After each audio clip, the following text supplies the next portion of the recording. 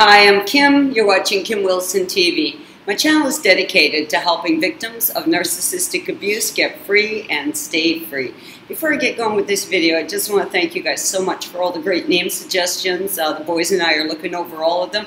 Uh, Babe seems real happy with quite a few of those names, and she is teething on me pretty much nonstop. Thank you guys so much for bearing with me during this series of videos. I really do believe that healing starts with good health and for me, I started to heal from the inside out because I knew I was sick. Now, right as I was planning my exit strategy, just before I left Trevor, I had become so ill, so weak, so frail. I had lost so much weight. When I was standing in a grocery store, people were actually pulling their kids away from me. I looked like a junkie. I really did. There's no denying that. I was so thin. I had big dark rings under my eyes. I was stuttering. I was shaky.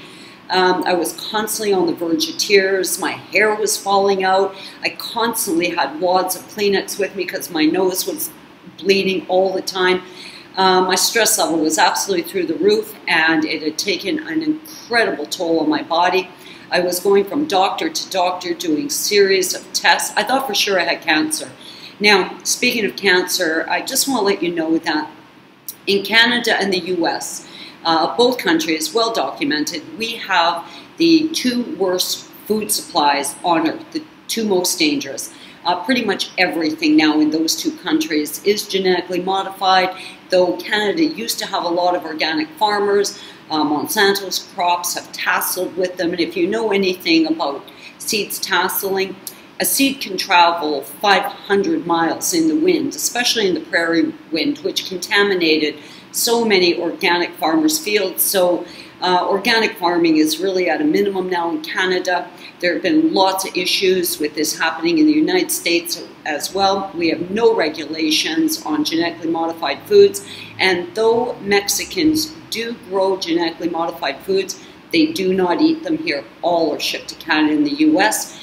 These people eat organic food, and cancer rates are very, very low here. In fact, they're not even on the list, which stops at, I think, number 50 or something. Okay, so with that said, um, I was kind of checking the cancer rates in Canada, the US, which says one out of every two people in Canada, the US will get cancer. This absolutely blew my mind. I mean, I instantly felt like I'd been punched. I felt sick. Uh, this is not happening naturally. This, uh, yeah, there's something wrong with this number. So I'm thinking that's got to be the highest rate in the world. So I continue to research. Hell no. No, there are many countries uh, much worse off than Canada and the US. Denmark, number one. 1.7 out of every two people in Denmark is estimated to get cancer. I gotta tell you, if I was living in Denmark, I would be asking some questions. In fact, I wouldn't live in that. That is not some type of natural evolution. That looks like genocide to me. I mean, it's absolutely horrendous. Uh, below Denmark was France, then uh, Australia, then Belgium. I mean, the, the statistics are so bad. And to be honest, those countries have a better food supply than Canada and the US, so I don't really understand what's going on, but something's going on. So what that tells me is no one is trying to protect you. No one, no one is trying to protect me. That responsibility falls solely on us. Who's most susceptible? Well, it's going to be people with high levels of stress, people that live in states of panic and anxiety. It's going to be people with damaged DNA, and it's going to be people with damaged immune systems. Damn it, it's going to be us. So we need to protect ourselves. Really great superfood for helping with the prevention of cancer is going to be papaya. Now, I cut this papaya open just to show you. If you're not familiar with papaya, it's a tropical fruit. They tend to be quite big. This is a Mexican papaya. I would stay away from any Hawaiian papaya as all are genetically modified. But if you can get papaya from Mexico, Nicaragua, or Honduras, you're going to be getting good, safe, organic papaya. Now, the papaya is loaded full of seeds.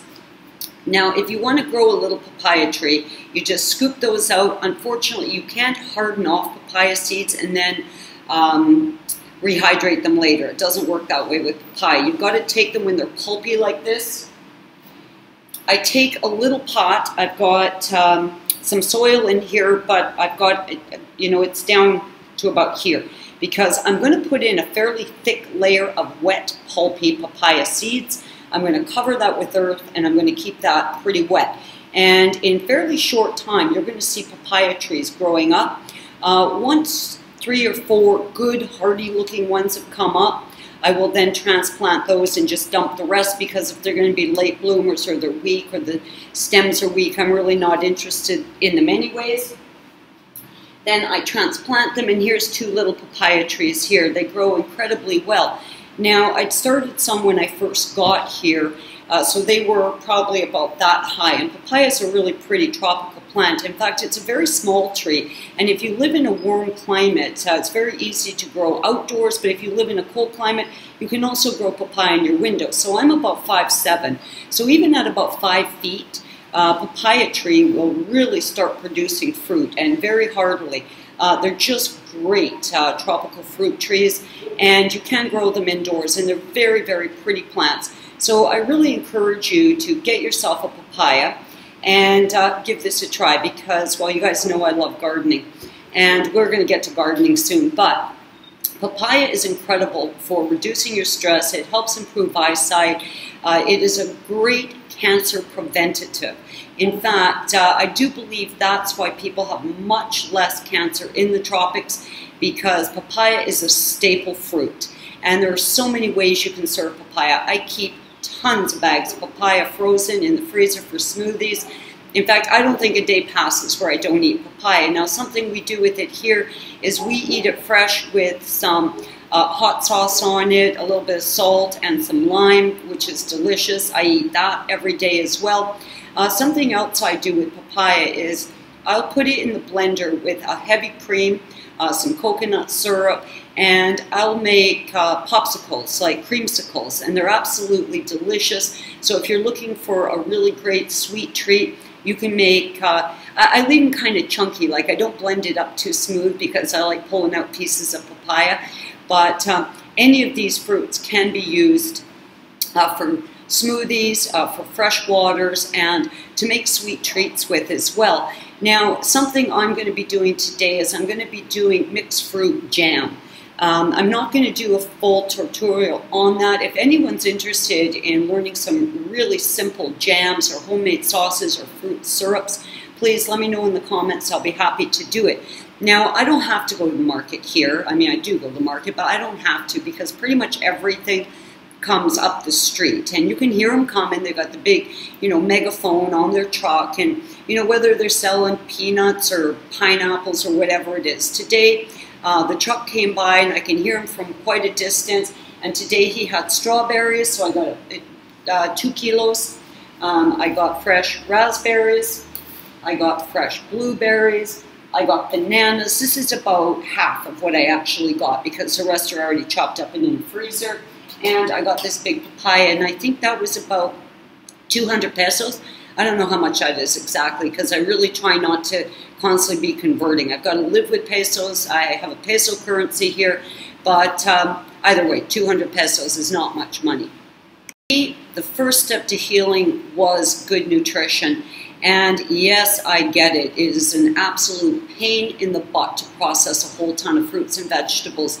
Do it all in one day, do enough for a month, just fill the freezer with bags and it's over with. I put out my cutting boards, I get my knife, I've got a big bag for waste beside me, and I really don't use a lot of this. Some of it I can use for my compost bin, but because I'm processing a lot of um, acidic citrus type fruits, uh, I don't put those in the compost bin. So um, a lot of it goes in the waste, but either way, I get it all done. It takes me probably an hour and I'm good for a month. So you need to become willing. You need to become determined and dedicated to your own good health and give yourself that hour once a month to ensure you've got a freezer full of fresh fruits and vegetables also a great way to start a seed bank. I do believe that seeds are of vital importance for each and every one of us, especially in a world where the food supply is getting worse and worse all the time. If you've got your own supply of natural organic seeds, you're going to have a bit of security that a lot of people don't have. I'm going to do a video about seed saving because I do believe it's tremendously important.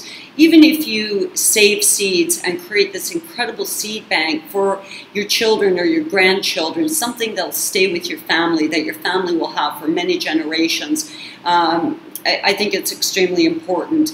I've got, uh, absolutely, I will admit that I've got gardening OCD. A absolutely, I do. There's no denying it. I just love growing things. But you got to know, most of my seeds I harvest myself comes by with uh, vine ripened tomatoes as they do very frequently. I'll just buy tons and tons of them. I do canned tomatoes, but first and foremost, I get the seeds out of there, I ferment them, I dry them, and those seeds get labeled, dated, and safely tucked away.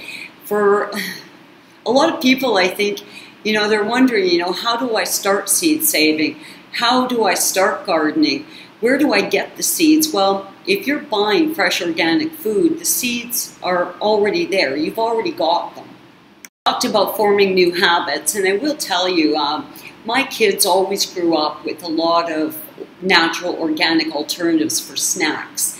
You know, the boys would come in from playing. Of course, my boys grew up here in Mexico, and they'd say, Mom, what's for a snack?